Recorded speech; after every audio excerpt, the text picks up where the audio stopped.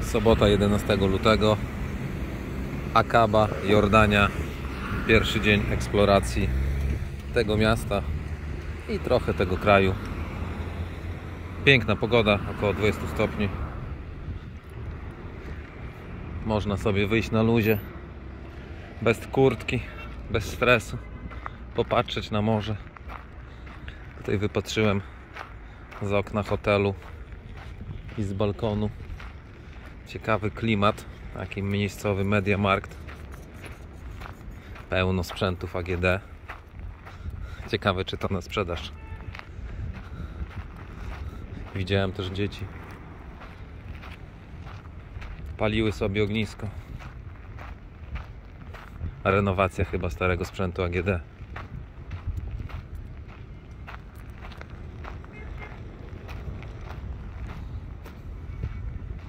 Będzie nowy Mediamarkt.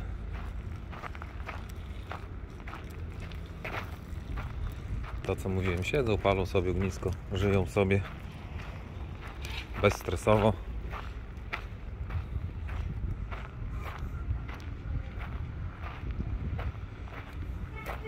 Może bez dużej kasy, ale i też chyba bez dużego stresu.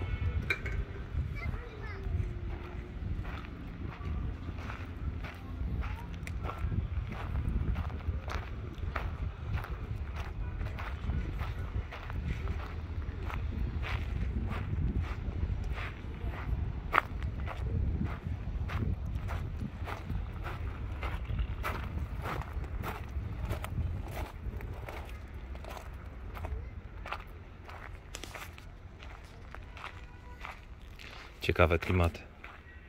Chyba ktoś tu mieszka. Zaraz zobaczymy.